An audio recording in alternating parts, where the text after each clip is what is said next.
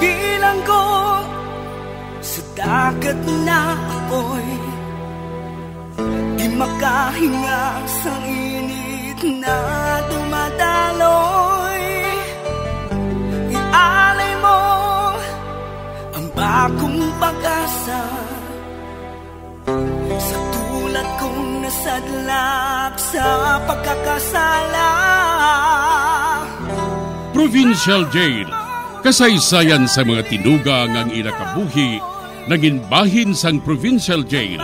Sa diin ang apat kapamusod sang pader, naging lulubngan sang ilang mga handom kag mga kalipay, nga naging saksi man sang ilang mga pag-antos, kag kabudlay kag paghinulsol. Litong-lito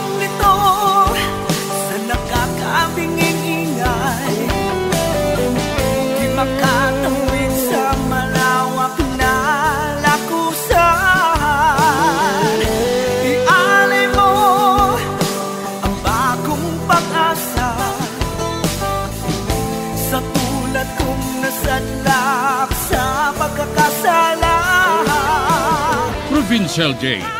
Makigupod kita sa ila pagpanarambiton, kag makigbahin kita sa ila kalipay, kag pag-antos, nga ilaman na agong sa Provincial Jail.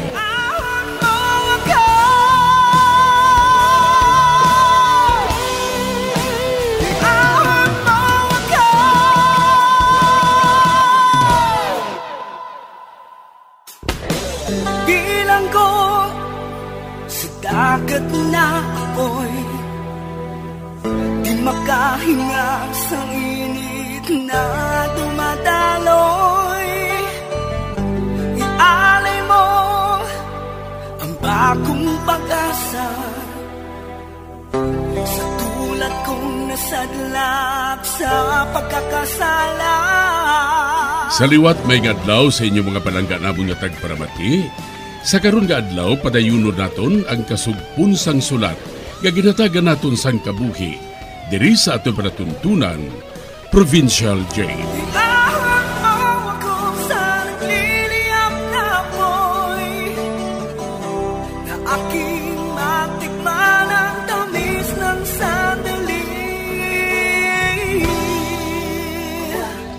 Bahin sa nagligad, nakatigayon si Manang Tita kag si Tita Pura nga maigo ang isa ka manggaranon nga pamilya sang ila dugo-dugo. Kag amo na lang ang paghilibion sang tag-iya. Diri sini nga bahin, padayunon kung kasugpon sang akon pagsaysay diri sa Provincial Jail.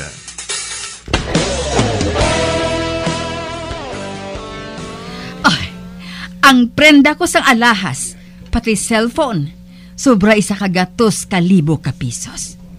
Kag pati ang 20 mil na cash, medyo dako subong aton kwarta tita. Kag tungaon naton ini. Oo, Mother Pora. Ay, dako man galing ato na income, no? Oo. Kag ho, gali, pwede pa naton nga maparimati ang mga alahas. Pagkatapos, makakwarta pa kita liwat. Ay! Ay, abaw, kaalam gid bala sa imo, Mother. Ah! Kag wala pa sang hasol, pan ginsiguro ko na yung aton prospect o galing kita maghulag. Sa sina, wala sang hasol nga matabo sa aton. Isa pa, makaibalo ka mag-speaking eh. Kag makaibalo ka magliwat sa imo nga dagway. Bading ka nga daan.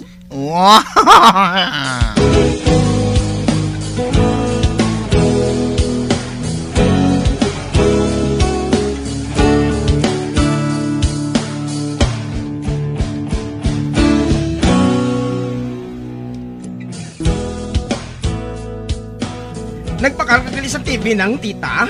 Ho, Ernest. Ginbaklan ko ka sang TV para di ka na magsagad kadto sa iban nga balay para nga magtanaw sang TV didto. Oo, ng tita.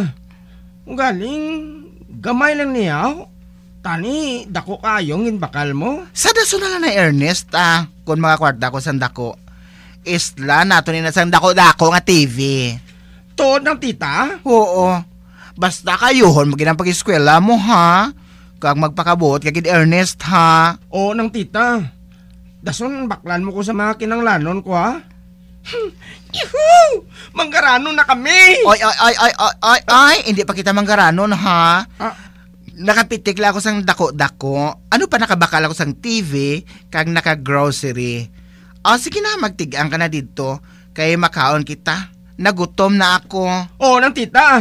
Oo. Ah, ay, Nalipay ka ng akong manghod, ah. Man may TV na kami. Wala siya makahibalo. Na nag-inta na ako sa sindikato. Ay, ambot, ah. Hindi ako yung maluyag ang manghin sindikato. Kami ambisyon man ako, no? Luyag ko yung makapamana. Makapatindog sang isa ka parlor. Kag ako ang mamanage. Mga buhi kami sa ngakon bana sang kabuhi nga wala sang ginakulbaan nga basi kun pusasa na lang sa mga pulis.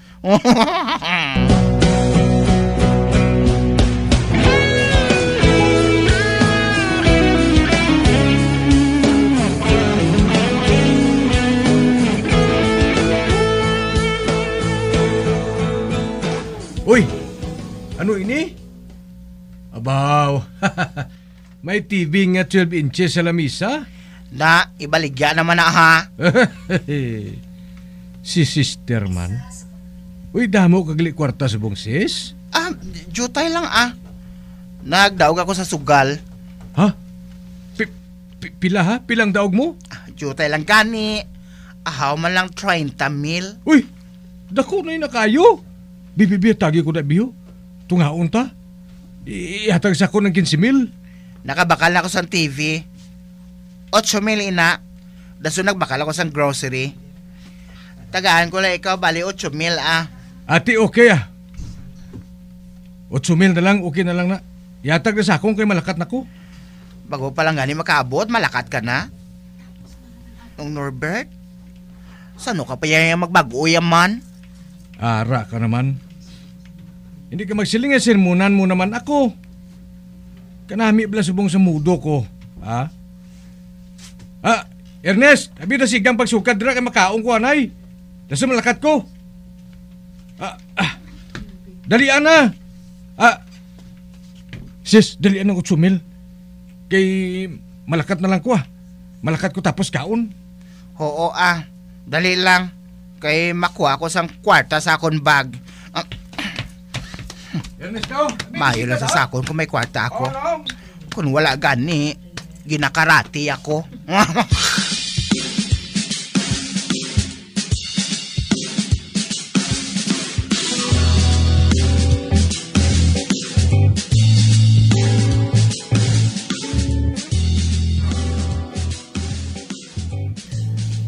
Ah, tita?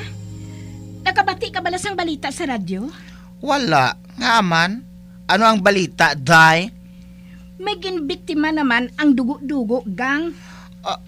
Ha? Dugo-dugo? Ay ah, kalain man sila nga ngalan nga ina man.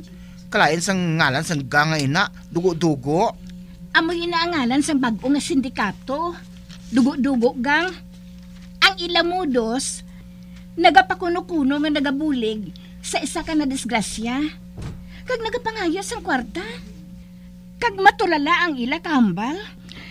Kag nagahatag mandayon ang natungdan. Kay ti, na disgrasya ang katapos ang ila panimalay mo. Ay, mo gali, Day. Dapat nga mag-andam gid sila. Hindi dapat sila nga magpati sa kung sino man nga mga ayos ang bulig sa ila. Amo gid tita. Amo inang siling sa mga pulis.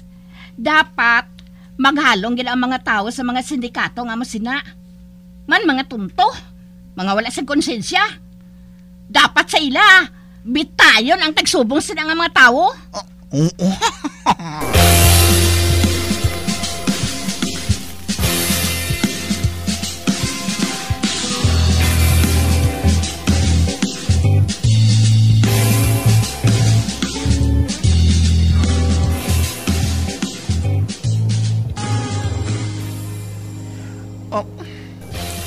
Ari ang duha ka gatos. Ihulog ko ini bilang limo sa simbahan. Pangayuan ko sang kapatawaran ng akong mga sala. Ah, ah, na, Arina, ihulog ko na. Ah,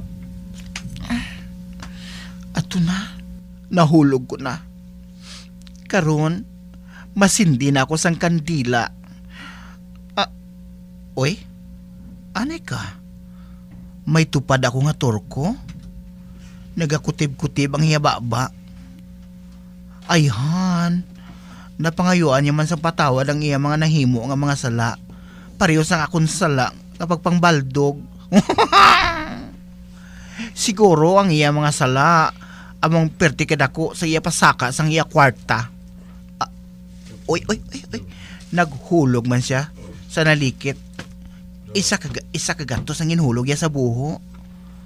Ay abo, ah kadako gid. Dako gid kurong iya kapital ay. Ah, wara naman.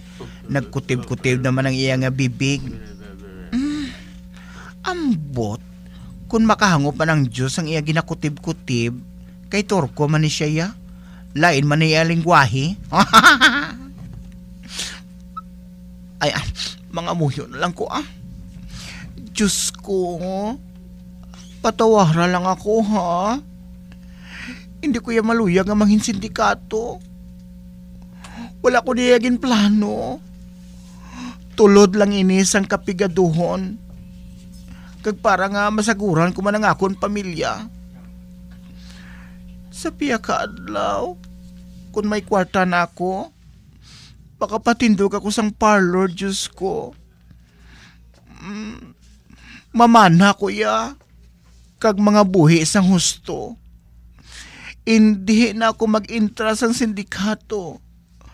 Promise, Lord. Amen. Um,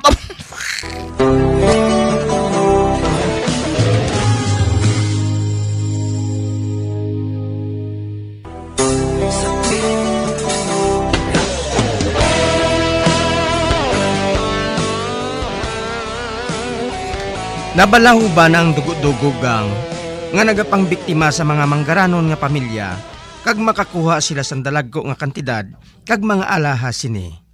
Sa piyak nga bahin, nagkadto si manang tita sa simbahan agod pangayuan sang kapatawaran ang iya nahimo nga mga sala. Sa pagpadayon ko pagid,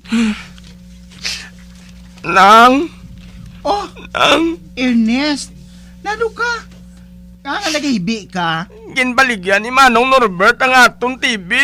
Ah, ah, ano? Oo, wala na sa lamisa, oh. Pag-abot ko alin sa eskwelahan, wala na nga atong TV. Yan wow. Ang aton wala sang huya nga magulang. Ginhawa ko gani nga mabaklan ka sang TV. Tapos, ginbaligya naman niya. Wala gid sang pulos ang aton utod niya na Ernest. Wala gid siya sang huya. Wala sang kaluoy.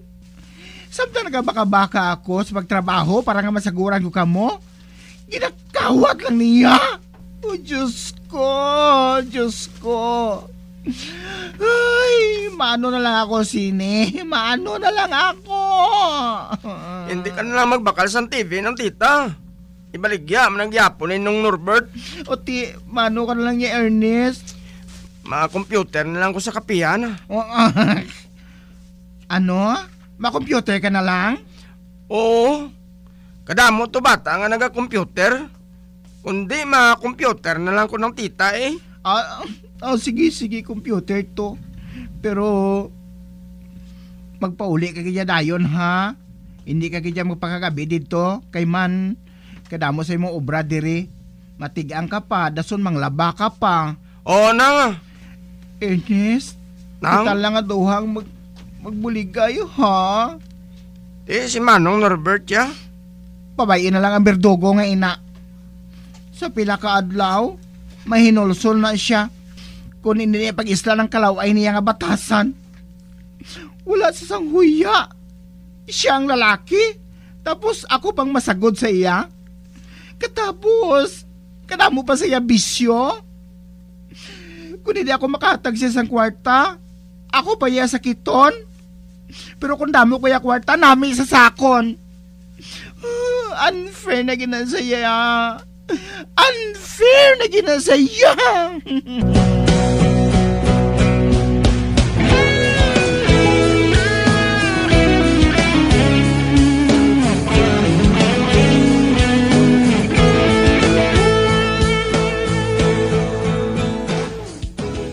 Mother Pora, anong balita?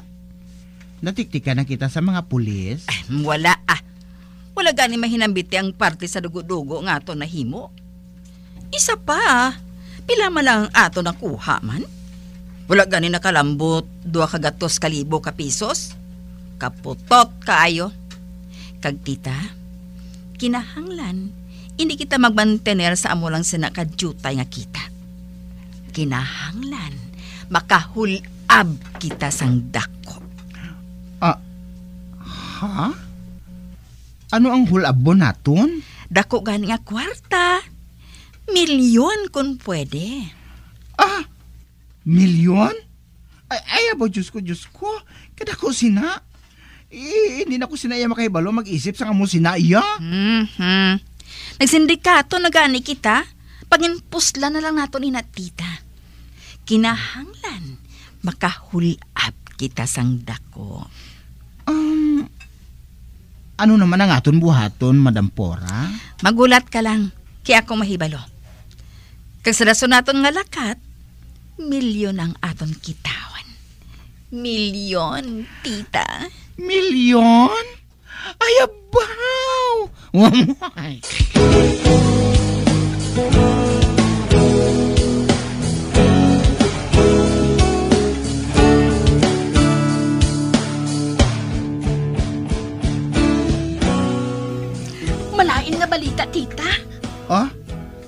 amanday.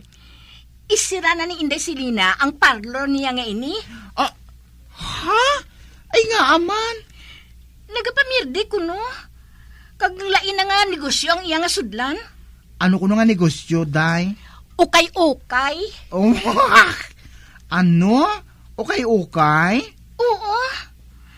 Kung gusto ko no naton nga magsulod bilang dispatsadura, pwede man ko no. ano? Oo. Ay, ah! Beautician kita tapos matindira lang kita sa okay-okay. Mayutani kung lain ang okayon ko kay sugot ko iya. Nga, haw. Anong gusto mo nga ukayon, haw? something round, something black, kag something lisik-lisik. Tita, ikaw bala? Kasutel gid bala sa imo mo? Ikaw naton, kahit toted gid sa imo. Ano blang something round now? Ang buot silingon, bola. Bola, day. Hindi ba lang bola, nagalisik-lisik? Ay, ambot, ah. Daw sa makutang ako, ah.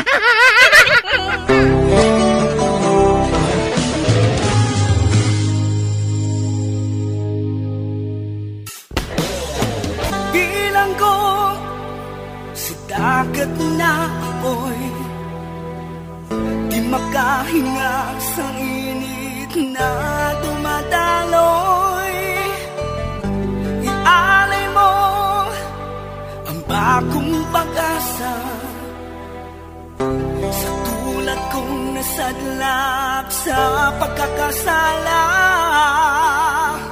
Magabiyan sundagin ninyo sa pagpamati ang mga kasugpon sang sulat nga aton man ginatagan sang kabuhi diri sa atong platuntunan, Provincial Jail. Kag kami diri sa gihapon wala gid nakakalipat sa pagpangagda sa inyo. Gakun kamo man may kasaysayan, ipadala lang diri sa atong palatuntunan, Provincial Jail, DYWB, Bombo Radio, Bandalagan, Siyudad Sang Bacolod. Sa direksyon ni Melvin Gatuslao.